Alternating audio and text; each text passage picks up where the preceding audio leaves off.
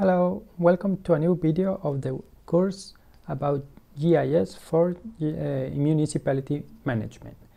At this video, that will be the second part of the table uh, uh, functionalities, we're going to see how to join uh, tables.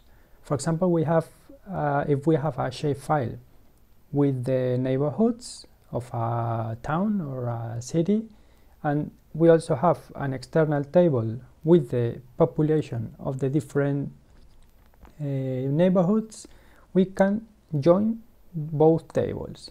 So we are going to create a new view and we are going to we are going to change the properties, the uh, reference system of this uh, of this view. We are going to select this one, 26918, but if you don't have this reference system at the recent ones, you are going to select EPSG and by code you are going to select 26918 we press enter and there's only one reference system for this code. We press ok and accept.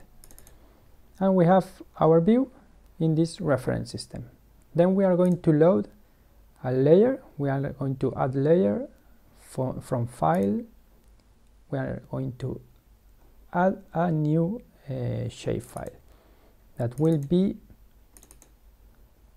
this one neighborhoods of New York. We press open the reference system is the same than the view and here we have the neighborhoods. If we open the attribute table we can see that we have different different fields with the name of the neighborhood the name of the bor the borough name, etc., the, the area. And we want to, uh, to add a new field with the population for the, the different neighborhoods. So we are going to show project manager to load a new table. We press new. We are going to add a file and it will be this one. New York City population.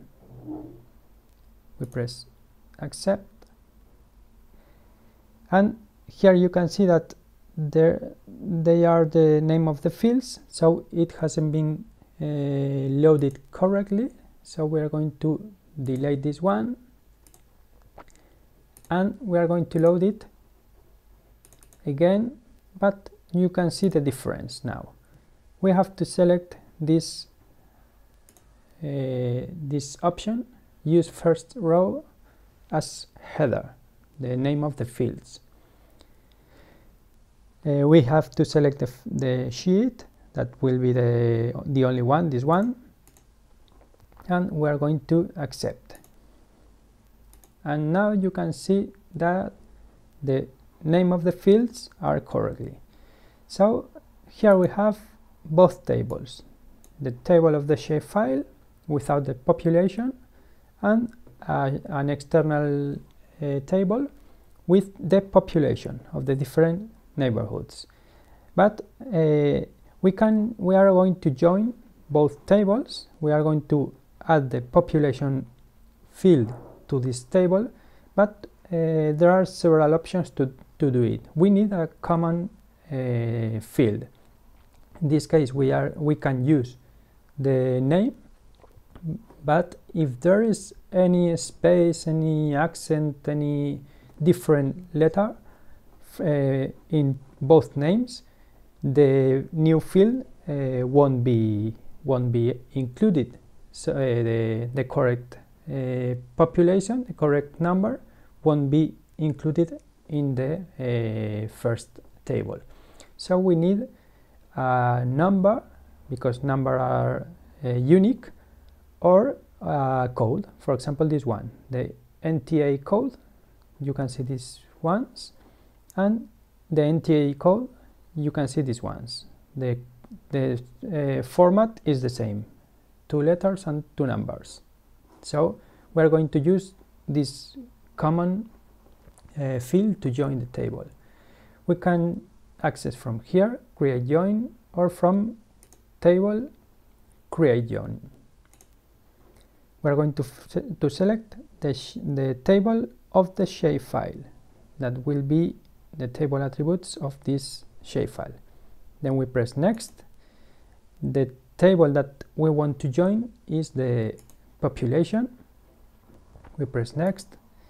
We have to select the common field in both tables, the NTA code here and NTA code here. And we can add a, a prefix. We can add a prefix in the name of the fields. So for the first table, for the uh, neighborhoods, we are going to add an N, and for the population, we are going to add a P, letter P. And we are going to select the, the fields to join. We are going to select only population.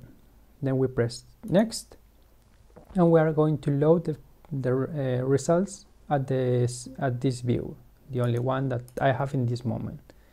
We press finish, and we have a new layer but it's a virtual layer so if we open the attribute table we have the fields of the neighborhoods it has it has included an n letter and at the end we can see the population for the different neighborhoods so we can see here the population of the neighborhoods with the p the name of the field uh, it has been uh, included a letter P.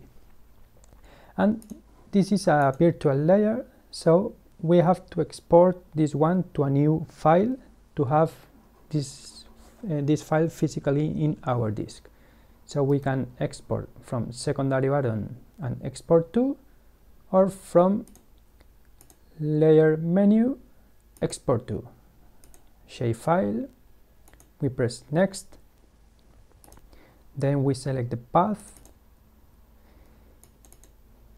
results and New York I'm going to select this one New York population for example the shapefile the new shapefile we press open we press next reference system is the same than the view all the records and we want to add the layer to the view.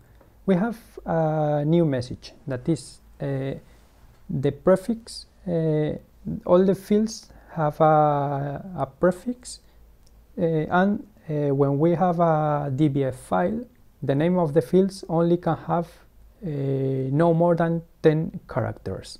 So the fields where the name, the, where the number of characters are more than 10 they has been they have been cut so here we have the change that gvSIG is going to uh, to do for the different fields.